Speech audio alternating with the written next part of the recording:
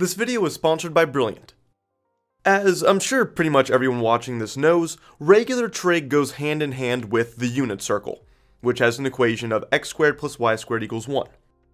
Plot a point cosine of theta comma sine theta, and that point will guaranteed lie somewhere on that circle. Then as we sweep the input angle, that point simply moves around the circle. Now, hyperbolic trig seems completely unrelated at first. Hyperbolic cosine involves adding two exponential terms and dividing by 2, and hyperbolic sine is just about the same but with a minus sign on the numerator. However, this time, hyperbolic trig and these expressions go hand in hand with a hyperbola that has the equation x squared minus y squared equals 1. But they go together in the same way. If we plot hyperbolic cosine comma hyperbolic sine of some input, which is really just the same as plotting this here with that input of 0.5 in the exponents, then the point will lie on the hyperbola. And as we change that input, the point simply moves along our curve. So there's one way trig and hyperbolic trig are actually much more related than they first appear. And when we move to the world of calculus, we see something similar. We know for the function y equals e to the x, it has the property where the derivative equals itself, nothing changes. And of course, e to the x satisfies this differential equation. For the function sine and cosine, they have the property where the second derivative equals the negative of the original function. The second derivative of sine of x is negative sine of x, for example. And these functions satisfy this differential equation. Well, hyperbolic sine and cosine are almost the same and just add more to this picture. They both have the property where the second derivative is the same as the original function, and these hyperbolic functions satisfy this differential equation. Now, probably the most famous equation of this form is that which describes a mass on a spring with no friction. The force of the spring is minus kx, and that equals ma, or m times the second derivative of position. The solution to this is a simple sine or cosine curve as the block just oscillates back and forth with no decay. And the negative is here because force is opposite of displacement. You try to push the spring in and it will push back the other way. However, if somehow we had a spring which did the opposite, like when you pulled it to the right, the spring applied the same magnitude of force, kx, in the same direction, and just caused the block to accelerate to the right forever, then we'd model it with this equation, just the same with a positive kx, and this matches the differential equation we see here, so the solution would be a hyperbolic cosine or sine curve. It wouldn't be parabolic like a constantly accelerating rocket, and it wouldn't be purely exponential like this, but it would be close. It would actually approach the exponential curve as an asymptote. Alright, that's not a real application, but at least in school I only learned that, hey, it's called hyperbolic trig because it has trig-like properties, such as the derivative of sine is cosine, and the derivative of hyperbolic sine is hyperbolic cosine. Cool, but hopefully you can see that there are more meaningful properties just in regards to the mathematics of hyperbolic trig. But now let's get to some real applications. The most famous example, which I've discussed before, is the catenary curve. When a cable or rope hangs between two fixed points and is only acted upon by gravity, the resulting curve is not a parabola, but rather a hyperbolic cosine curve. They're close, but not the same. And using the calculus of variations, you find that this is actually the curve which minimizes potential energy across the cable. You could say this is the curve that, quote, hangs the lowest.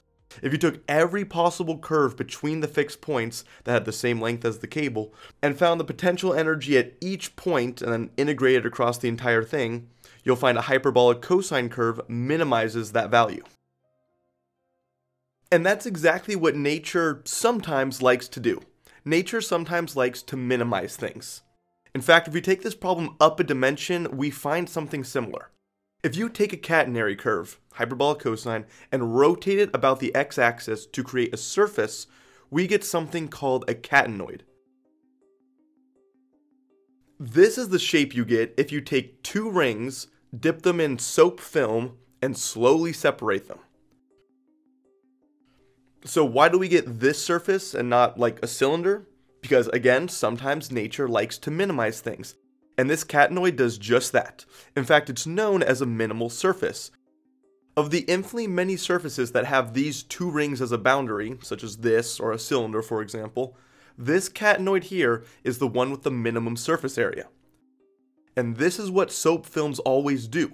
Whatever your wireframe or boundary, that soap film will take the shape of a minimal surface with that given boundary.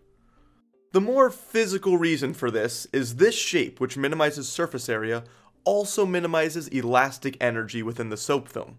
So it's really energy that nature likes to minimize, just like we saw with the catenary curve.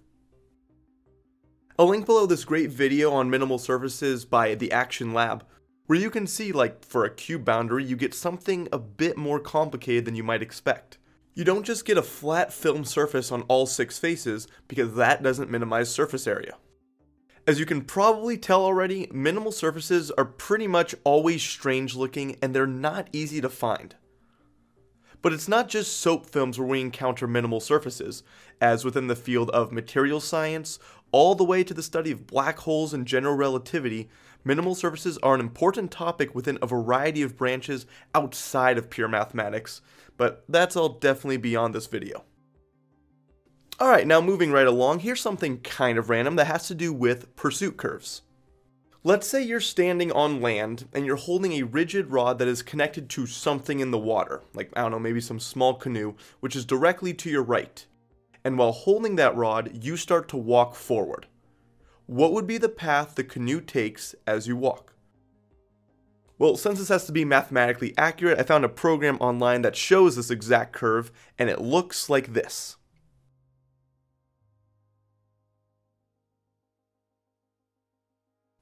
This curve is known as a tractrix. Wikipedia has an animation showing it being generated when you are both pushing the object and pulling it. What we just saw was only half the curve.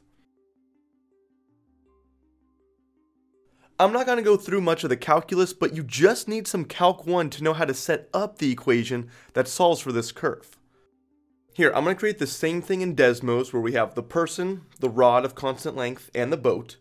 And here you can see the boat move along the tractrix curve as the person walks. But notice at any point on this curve, like this here, the tangent line lies directly on the rod, since the rod is pulling in that direction at that moment. And this will always be the case. So the dy dx at any point is going to be equal to the slope of the rod at that point. To find this, we just need to make a triangle. The hypotenuse is just the length of the rod, so that's a constant. We'll call it L. The base we can just call x, since that length matches the current x coordinate of the boat. And using the Pythagorean theorem, we find the height is root L squared minus x squared. So the slope at this point on the curve where the boat is, or any other point, is going to be rise over run, root L squared minus x squared, all over x but it's purely negative in this case since I'm only considering the top half of the curve where all the tangents have a negative slope. But then all we have to do is solve this differential equation and we get the tractrix equation, which is this here. Now hyperbolic trig comes in because this first term can easily be written in terms of the inverse of hyperbolic secant. We can also parameterize the equation, and if we do so, both the x and y coordinate as a function of time involve regular hyperbolic trig. But here's probably my favorite part of this. Notice that if you find the normal line to this curve at a few points, they don't all intersect at the same location, but they bunch together up here, and as you add more, we see this kind of envelope is created. This is known as the evolute of the tractrix, and that envelope you see in blue is the catenary curve, hyperbolic cosine.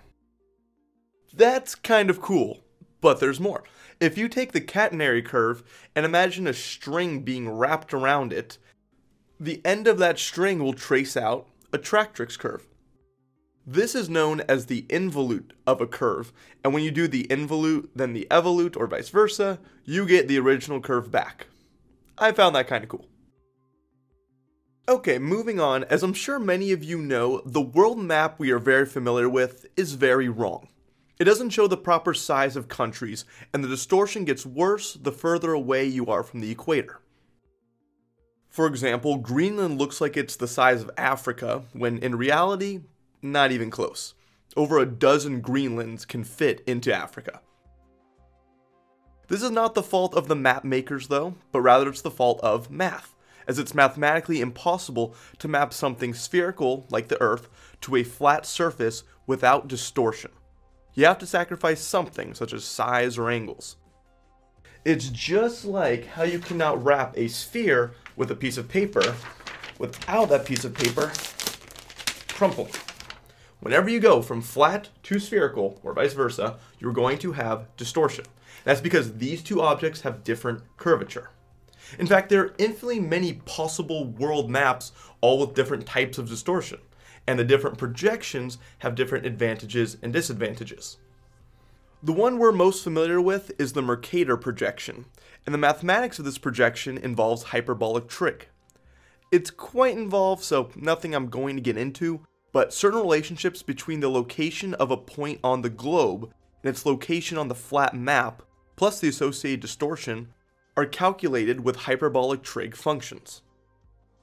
The advantage of this map is that one, it preserves shape very well countries on this map are shaped pretty much how they should be. But the biggest thing is this mapping is conformal, meaning it preserves angles and direction. If two roads intersect at some angle on Earth, they'll intersect at that angle on this map. And this makes the map useful in navigation when you're using only a compass. This is the main reason for its creation centuries ago. It was useful for sailors who had to navigate the ocean, the angles on the map translated exactly to the angles they had to follow on a compass. And that conformal mapping or angle slash direction preservation mathematically involves hyperbolic trig. Another application would be that of freefall. The first free fall equation we learn with air resistance is typically one where the force of friction is proportional to velocity. However, in some cases, like larger objects or objects at higher velocities, a better estimate for air friction is that it is proportional to velocity squared, and then we get a different differential equation. And if you look at velocity versus time for case 1 when air resistance is proportional to velocity, you get something that looks like a 1 minus e to the minus x graph that asymptotically approaches terminal velocity. When air resistance is proportional to v squared, you instead get a hyperbolic tangent function, which is very similar but not quite the same. Now, in reality, they would likely not approach the same terminal velocity, but I just wanted to show how close these curves are without being exactly the same. So, as with this example, just a small change in a differential equation can turn a regular exponential solution into a hyperbolic trig one. Now, there are plenty more examples of hyperbolic trig out there, but what's cool is that just about everything we've discussed so far, from air resistance to pursuit curves to conformal mappings and more, is discussed in much greater detail over at Brilliant, this video's sponsor. Everything you're seeing here is actually from their differential equation series, which currently has two full courses which start at the basics and get into plenty of topics that I didn't even cover in college as an engineer but you'll see the calculus involved in equations of pursuit. However, with curves that are much more complicated than the tractrix we saw earlier. And you also see the functions that take planes to spheres in a way that preserves certain characteristics such as angles as the conformal maps did. And you'll even go back to the catenary curve and see why exactly a hanging cable will take the shape of hyperbolic cosine by analyzing both the math and physics of a cable being acted upon by gravity. As you can already see, what's great about Brilliant is the constant visuals, interactive animations, and constant practice problems that help you gain true intuition for even these more advanced topics so you can see exactly how they apply to the world around us. Then those who sign up by using the link below or by going to brilliant.org slash zachstar will get 20% off their annual premium subscription. And with that, gonna end that video there. Thanks as always to my supporters on Patreon. Social media links to follow me are down below, and I'll see you all in the next video.